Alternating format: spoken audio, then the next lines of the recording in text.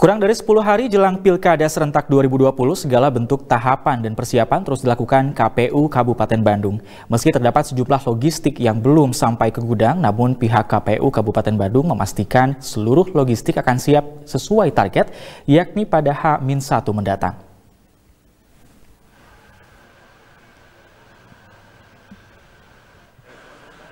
Sejumlah tahapan dan persiapan terus dilakukan Komisi Pemilihan Umum Daerah Kabupaten Bandung menjelang pemilihan kepala daerah atau Pilkada serentak yang akan digelar pada Rabu 9 Desember 2020 mendatang.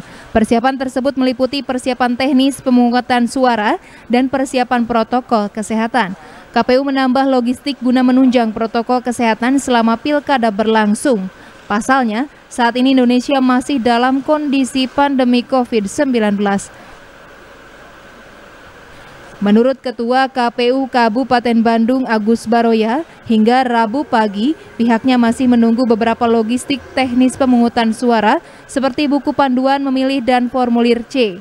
Sedangkan untuk persiapan protokol kesehatan, KPU Kabupaten Bandung tinggal menunggu termogan untuk mengecek suhu tubuh para calon pemilih dan sarung tangan lateks yang diperuntukkan petugas TPS.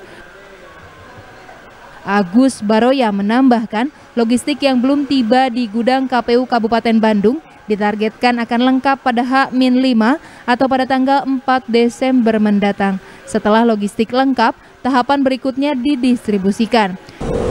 Uh, jadi terkait dengan logistik uh, pilkada untuk 2020 Alhamdulillah secara umum logistik itu ada dua kita kategorikan. Pertama logistik yang terkait dengan teknis pemungutan suara dan logistik yang terkait dengan APD atau protokol kesehatan.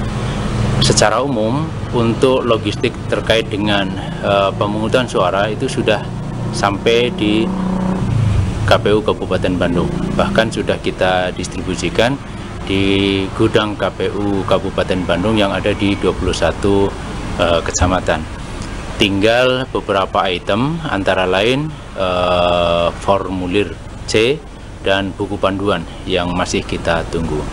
Kemudian uh, logistik terkait dengan protokol kesehatan pada umumnya juga sudah sampai.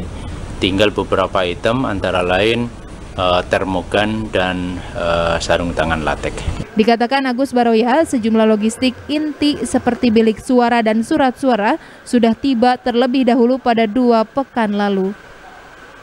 Kontestasi Pilkada Kabupaten Bandung 2020 diikuti oleh tiga pasangan calon yakni nomor urut 1 Kurnia Agustina Usman Sayogi, nomor urut 2 Yena Iskandar Maksum Atep Rizal, dan nomor urut 3 Dadang Supriyatna Syahrul Gunawan.